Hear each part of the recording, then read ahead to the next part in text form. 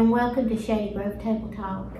Today we're going to come to you and talk to you about a subject that not a lot of people like to talk about, including myself. I've had trouble in the past with this, as they, I, I think everybody that's human has. Amen. We're going to talk on the subject of forgiveness. Forgiveness is uh, when you when you give forgiveness, it's a, a weapon in your arsenal. If you'll if you'll forgive, as the Father instructs us mm-hmm. to. Mm-hmm. But first, I'd like to introduce you to my family. This is my mother, Sister Nan Ruby White. This is my pastor, Lisa Hayes. This is my friend, Minister Connie Dennis. Hello. And my friend, Minister Donna Jean Holcomb. Hey guys. And I'm Vanessa Williams. So today, as I said, we're going to talk about forgiveness. You know, a lot of times we think, we can't forgive those people. You just don't know what they've done to me. I'm going to tell you something. One day, my husband, we were having a discussion. I, I thought this was funny. If y'all don't, just laugh anyway. We, uh, we were talking about forgiveness, and he was he was mad, and he was talking about somebody. He said, "Well, I just can't." Blah blah blah. I said, "Did they spit in your face?" He said, "No." I said, "Did they rip your beard out one by one?" He said, "No." I said, "Did they place thorns on your head?" He said, "No," and he said, "I get it. I get it." Oh, And so later on that day, I was ranting and raving. And he looked at me and he said, Vanessa, did they pull your beard out? it hurts when it comes back out and you, don't it? and I said, okay, okay. And so that's something, y'all, that we really good, do though. use. Yes, we remind good. each That's other, right. even today, when one of us gets started on it. Yeah. That's Because right. When we refuse to forgive, we open the door to the enemy to attack us. Yes. There you go. And you know, y'all, in Matthew uh, 6 and 15, it says, But if ye forgive not men their trespasses, Yes. neither will your Father forgive your trespasses. That's right. Now, I was listening to a minister one day, and I think she was on Sid Roth, and she was talking about walking in forgiveness. And she said the Lord came to her. She had some horrific things happen to her Mm. that people, I'm not even going to Yeah. go into it, but it Yes. was terrible. And uh, he said, You haven't forgiven those men. Yeah. And, you know, she said, I haven't, because she thought she had forgiven. Yeah. And he said, The day that that people stand before him and they say, But we prophesied in your name. And, and you know, this was her take on what the Lord was telling her. If y'all find it different, then okay. But I'm just telling you what she shared. And it made sense to me. He said, and, and people say, But I was born again. I did. He said, But you didn't forgive. And you know, the word says, we just read it, that if you don't forgive others, how does the Father forgive you? Yes. Right. It says he won't. Yeah. And so forgiveness is a weapon in your arsenal That's right. That you can use for your good. Because when you forgive somebody, you're not forgiving them for them. That's right. You're Yes. forgiving them for yourself. That's right. Because you hold yourself in bondage. It's like I've heard somebody say, y'all, y'all correct me if I'm not repeating this right. But it's like drinking, you drinking poison and thinking it's going to hurt someone else. Mm-hmm. That's the way unforgiveness does you. Mm-hmm. Because Brother Copeland says it's like a highway and it's got a stripe down the, the middle of the highway. And here you are on one side in love, and here's unforgiveness on the other. The enemy's standing on the other side waiting for you to weave and get over here on his side so he can Yes. attack you. Mm-hmm. Yes. Because it says that perfected love casts out all fear. That's Well, right. fear has torment. And if you allow yourself to get out of love and walk in fear, then the enemy can bring torment. That's that's Right. exactly That's right. Donna Jean, you said you had some things to share on, Uh, on forgiveness. Yes. Um, there's a lot of things behind unforgiveness, and one of them is um, it can make you sick. Mm-hmm. Yes. And God designed a remarkable pump and placed it in a man's chest. It is called the heart. There is no machine that works as hard as a human heart. A healthy heart allows you to enjoy life that God has given you. And on the other hand, an unhealthy heart causes disease in our body that brings pain and suffering. Now, an unhealthy heart leads to death, the death of dreams and visions, and the purpose that God has put in your spirit, which is also known as your spiritual heart. It is the core of your body, which is the temple of the Holy Ghost when you are born again. And uh, I'm going to read uh, just what uh, unforgiveness causes. Okay. And, and a lot of people don't realize this. Unforgiveness causes anxiety, stress, uh, uneasiness, worry, concern, muscle tension, headaches, neurological and chemical changes, feeling dizzy and faint, brain fog, weak eye vision, nervousness, forgetfulness, panic attacks, weak communication, blood pressure, increased rapid heartbeat, weight gain, weight loss, acne, anger, bitterness, wrath, accidents, self-mutilation, depression, misery, envy, jealousy, hate, pride, resentment, trouble, arguing, complaining, unhappy divisions, disrespect, disobedient, despised, criticized, uncleanliness, miscarriages, and mental attitude, uh, negative thoughts, lack of love, malignancies, infected immune systems, and the list goes on. So that's what kind that's what uh, your body does when you're uh, in unforgiveness. It Wow. will it will really uh, wreak havoc on your body. And uh, I wanted to add something to that. Um, uh, let's see here. Um, forgiveness allows us to move on without seeking revenge.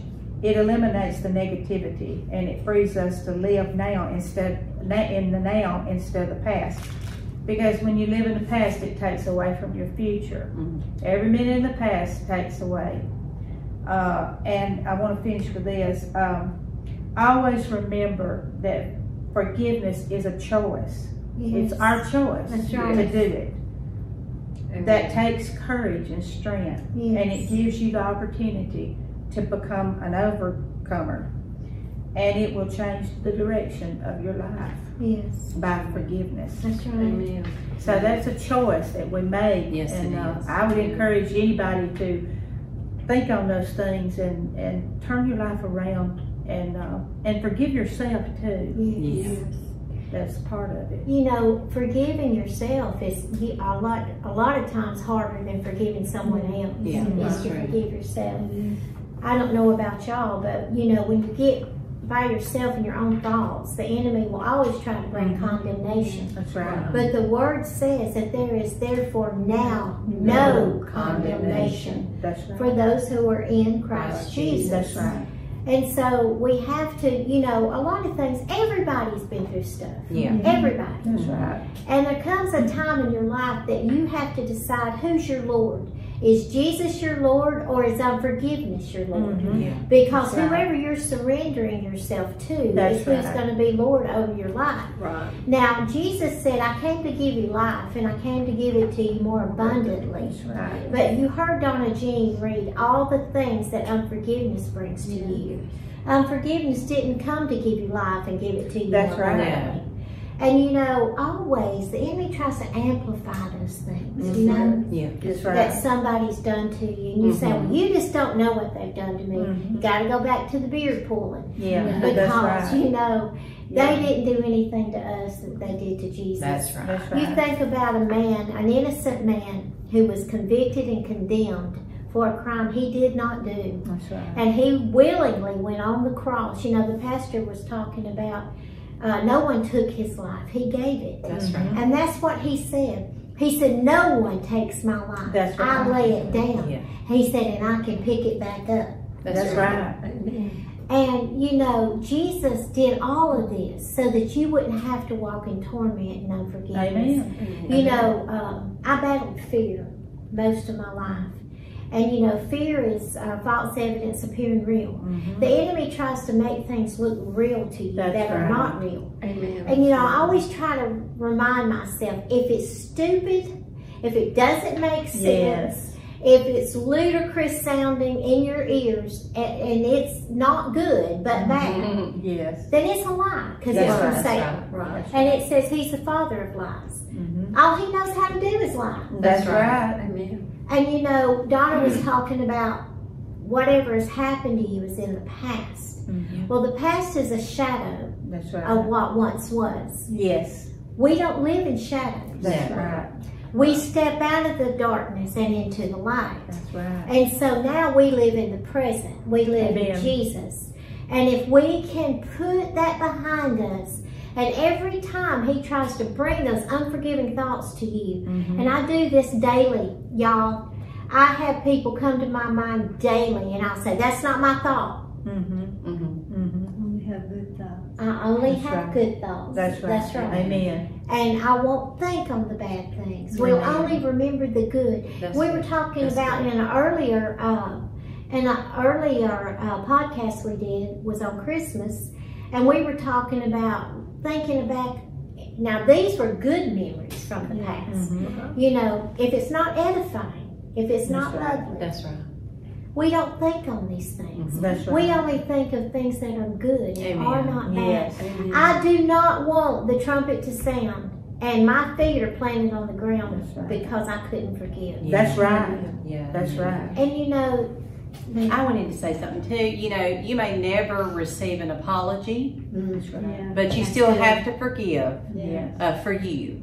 That's And right. you may never receive that apology, but God can go inside you and He can change your heart where you can forgive even though you never receive an apology. that's That's good. right. That's good. Mhm. Because that's a good point too, because a lot of times people have wronged you and they really did. hmm Mhm. But in their mind they didn't. Yeah. Right. And if you're sitting around waiting on an apology from somebody that don't think they did anything, Yeah. then you're going to be in bondage forever. Yes, you will. The other day, someone came to my mind and I said, No, I will not hold you in bondage. I love you and I forgive you. Amen. And I said it out loud. I was the only one in the room, but the enemy heard it. Yeah. He mm-hmm. did. That's right. Right. And that's the way we have to do it. It is. You know, you've been through hurts, you've been through devastations in your life. Right. But Connie is one of the kindest, sweetest people Yes. that I know. Yes, she Isn't she?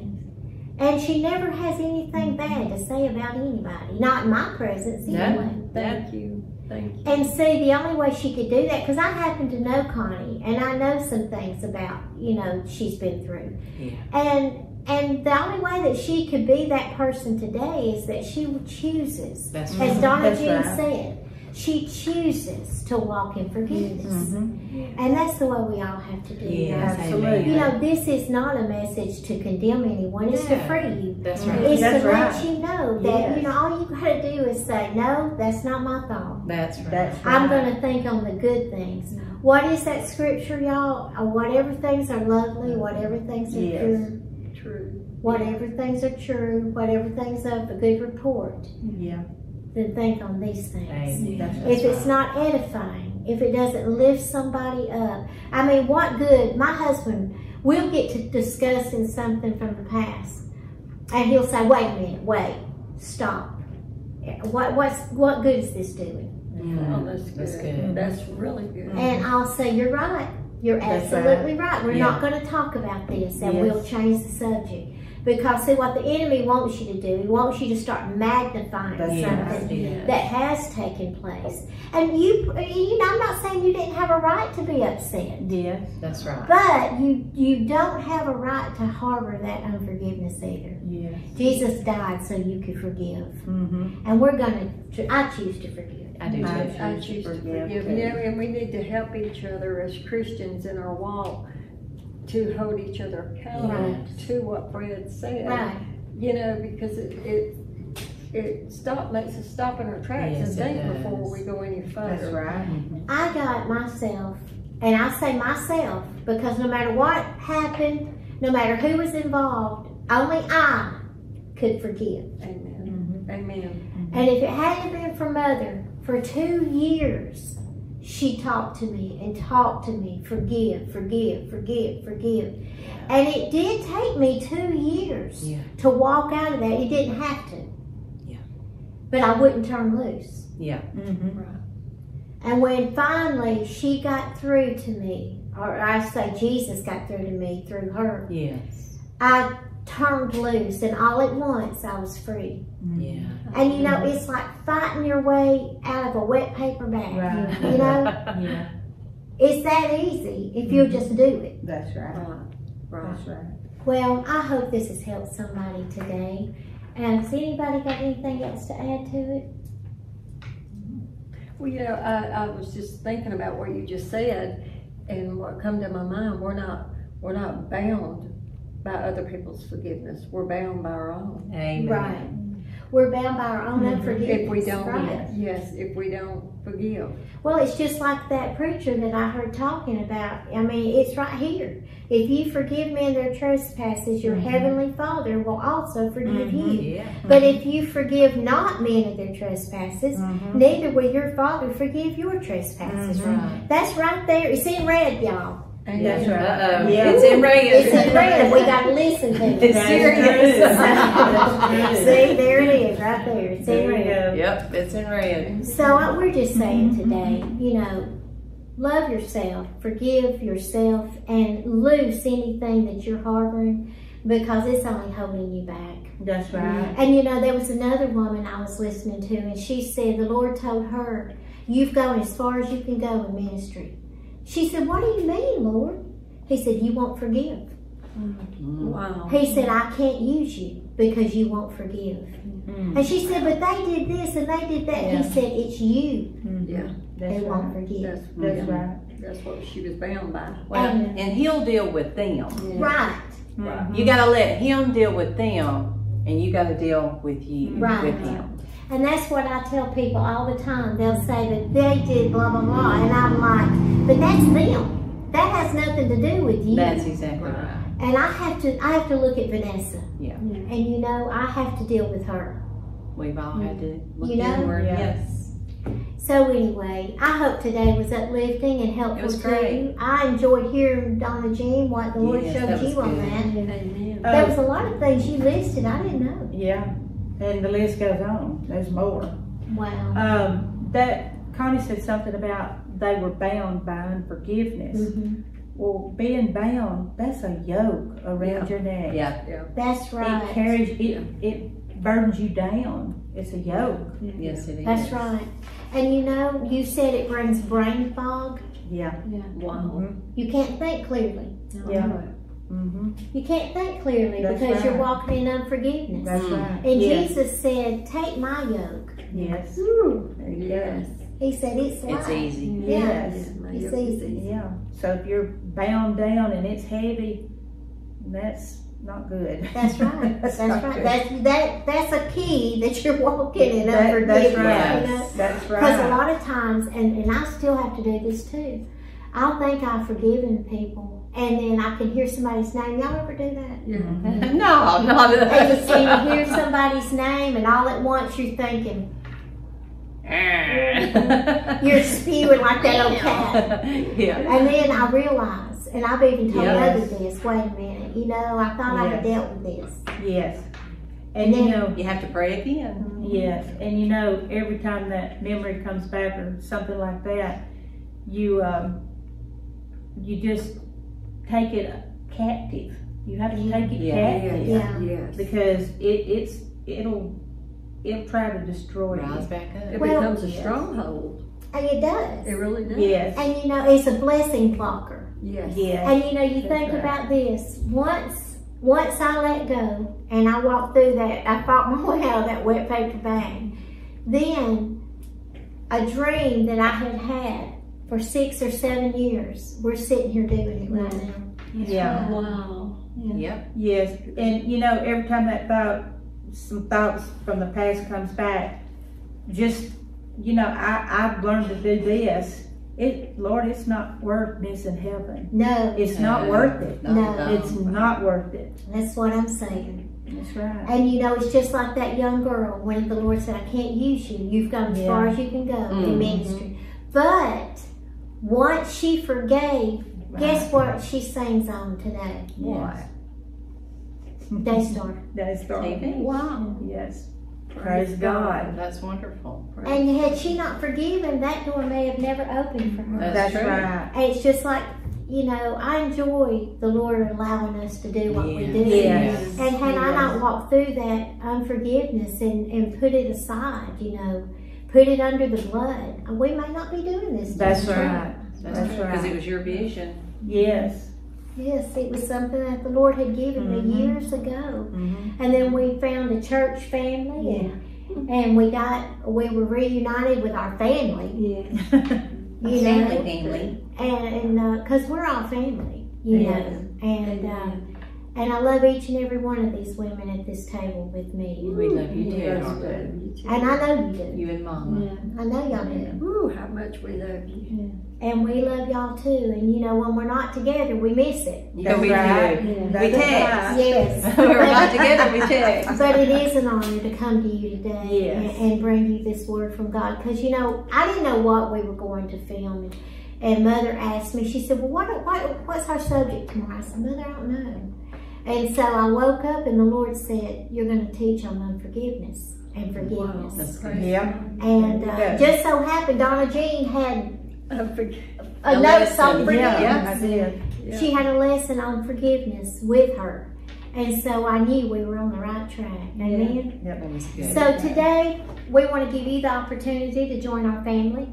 And uh, Pastor, you want to lead us and we'll repeat it? Sure. All right.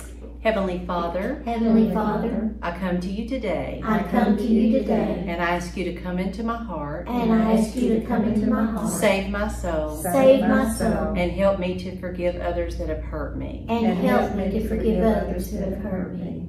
Lord Jesus, Lord Jesus, you're the Lord of my life. you're the Lord of my life.